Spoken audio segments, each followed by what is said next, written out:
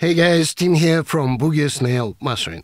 Hope you're having a very great day. So in this video I share my experience how I master an ambient music. So uh, I show you my hybrid uh, mastering chain and uh, I cover some fundamental tools and uh, mastering techniques you may apply to master your own tracks in uh, this genre. So before we start, Please remember, if you have a mix that you need mastered, request a quote at bsmastering.com and uh, receive 50% of your first order. I would also very much appreciate, guys, if you subscribe and hit the notification bell to support my channel. It really helps me to bring more videos. And now, let's get started.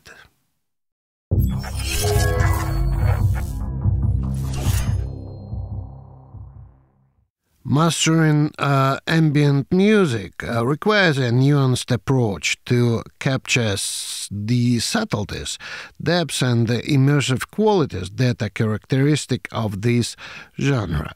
Today I've got this mysterious cinematic orchestral piece with the female vocal, piano, strings, chords, and epic drums. And uh, first, let's have a listen to a part of this uh, track uh, before I show you my hybrid mastering and give you some practical tips to help you master ambient music effectively.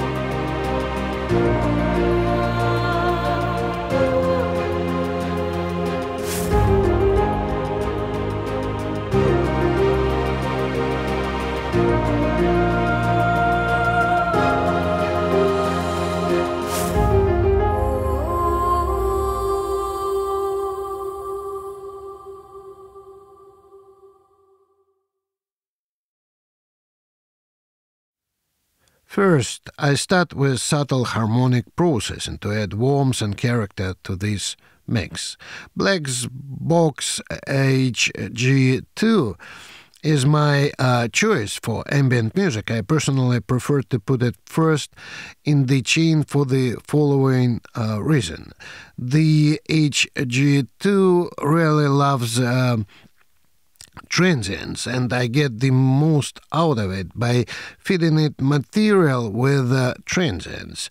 It is able to control the peaks without the negative effects uh, associated with the attack and uh, release parameters of a compressor so I can increase density in a very natural sounding way. The ability to control the material also means that I need less compression or limiting downstream, which usually results in a bigger, more open and transparent uh, sounding result. My approach of using the black box is uh, very subtle since it is a mastering case. I put pentode gain control at about 2 o'clock and triode gain at about 1 o'clock and output uh, attenuation at about 10 o'clock. I use just a small amount of the uh, saturation. Next, I start dealing with the frequency balance. I want to be sure that I've got a balanced mix with clear lows, large mids, and detailed highs. I use my orange EQ to sculpt the tonal character and uh, remove any unwanted resonances. In this uh, genre of music, uh, resonances phasing issues and uncontrolled bass frequencies are the common problems I uh, come across.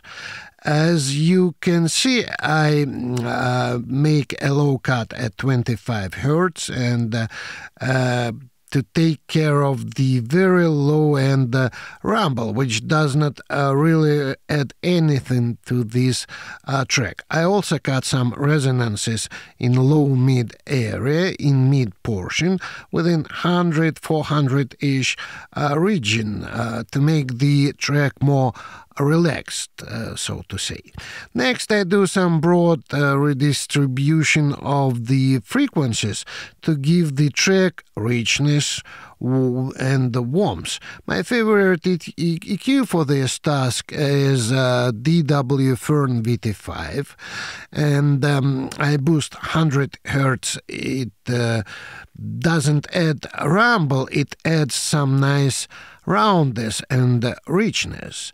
Next, to get a global boost from the Enelec Tube EQ that's got the juice, I boost 12K and it gives that nice, sparkly, bright top end with, without being harsh.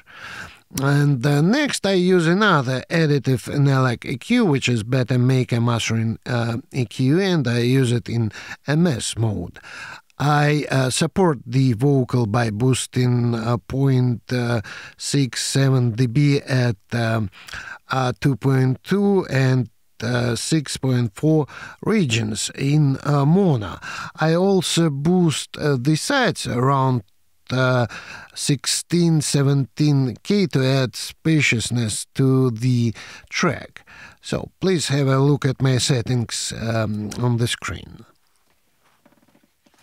Next, uh, since ambient um, music likes to be spacious, I had a tiny bit of st- stereo widening using my beloved on the moon spacecraft from Matthew Lane.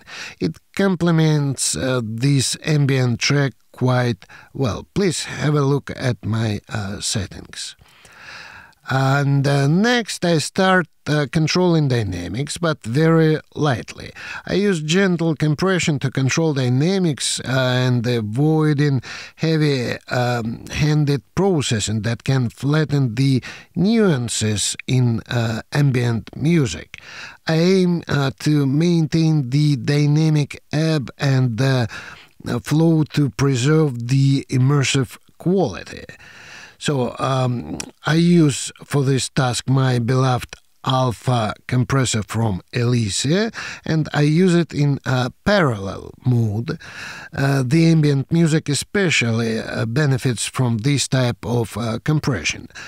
I used the fastest attack time, uh, which is uh, 0.01 millisecond milliseconds, and um, uh, very slow release time is about one sec and uh, ratio 1.1 uh, uh, 0.5 to 1 uh, and 50% um, uh, wet, not to touch uh, transient peaks.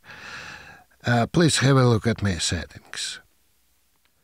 Finally, I apply limiting, and for this task I use my Sonnox limit. And as you remember, before limiting, I applied parallel compression to bring up the overall level. And uh, now I push the limiter just uh, enough to shape the peaks. Ambient music benefits from preserving its natural dynamics. Therefore, I don't want to be overly aggressive with limiting. I just want to let the music breathe. One more thing.